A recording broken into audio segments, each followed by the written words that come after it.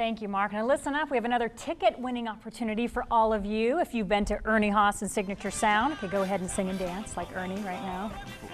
No one can sing and dance like Ernie. I mean, that's obvious. oh, that when you saved yourself with that, that Thank response. Well, how about seeing I'm one of these right now, guys Kate, tell. solo?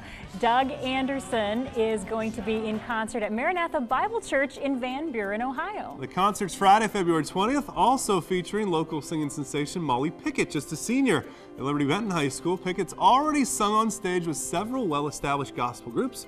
You can sign up today to win two tickets to this upcoming concert. Just go to faithandfriends.wtlw.com, click on contests, and you can find yourself on your way to Van Buren February the 20th.